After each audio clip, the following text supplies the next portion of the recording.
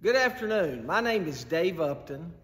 My wife, Lana, and I have been members of uh, the church here at Alexander City for the last seven years and are so excited to be a part of Cornerstone First Global Methodist Church. I am the chairman of the Staff Parish Relations Committee uh, and really love doing all the work we have here at the church. I was asked to speak during the stewardship campaign, and I want to talk about three things today. The first is the importance of pledging.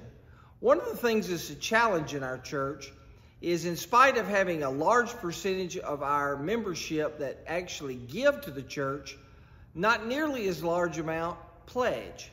And you may think, well, what does it matter as long as I give, whether or not I pledge or not?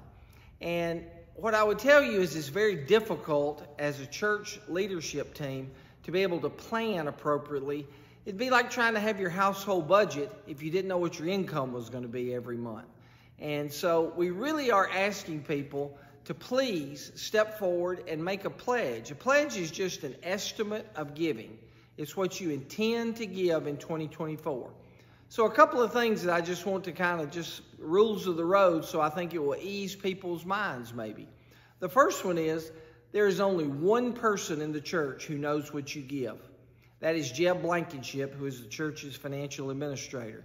So it's not something that people know. It's, it's private, it's confidential, and that's the only person that knows. The second thing that I want to let you know is I've heard people say, well, I don't want to feel like, I, you know, if, if something happens in my financial life, and I'm not able to fulfill the pledge that I'm going to be getting called by the church and asking why am I behind or whatever. No one will call you and ask you that ever. Uh, what you give and your fulfillment of your pledge is between you and God. And certainly, if, if, if exigent circumstances occur and put you in a position to not be able to fill it, fulfill it, certainly there would be no issue with that at all. So I just want to remove any potential inhibitions that people may have to being feeling like they can pledge. Because if we had a good estimate of what each family in the church was going to give in 2024, we will have so much more headlights to be able to see how we should plan, budget, staff, plan repairs and maintenance, all kinds of programs like that. Uh, we can do a much uh, more effective job as good stewards of the givings uh, to make sure they're used properly. The second thing I wanted to talk about is how to become a tithing Christian. I remember when I was young and early in my faith walk, and, and, and I would hear the, you know, we have stewardship campaigns and people would talk about uh, the, the biblical imperative to give 10% of your earnings. And it just seemed like, oh, how could I ever get there? I've got all these young children and I've got expenses, and, and there's just no way I could ever get there. And what I would tell you is that there are a few things that you have to do to become a tithing Christian. The first one is you have to start giving at whatever level you give. I thought David Hand's presentation a couple of Sundays ago when he talked about when he started at 3% of his income and then he grew that each year.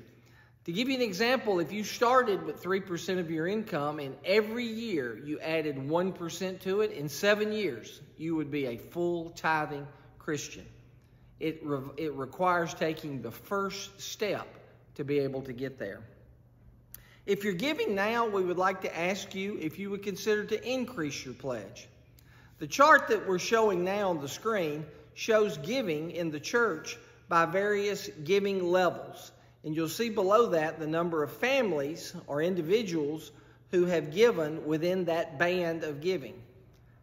It's interesting that we put it on a step chart because if everyone in the church finds yourself and where you fall on this chart, if every family in the church would take one step up to the next step, that would raise an additional $226,000 for the 2024 budget over what we have available this year, putting us in a much better financial shape and a much better position to be able to continue to grow the kingdom of God here at Cornerstone.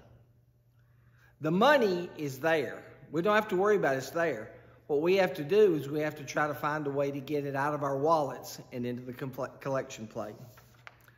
The last thing I'd like to say, and the, and the third item, is the importance of giving as it, as it relates to growing in our own faith journey.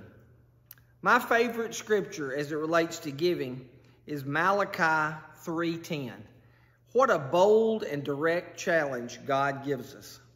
Let me read the scripture to you.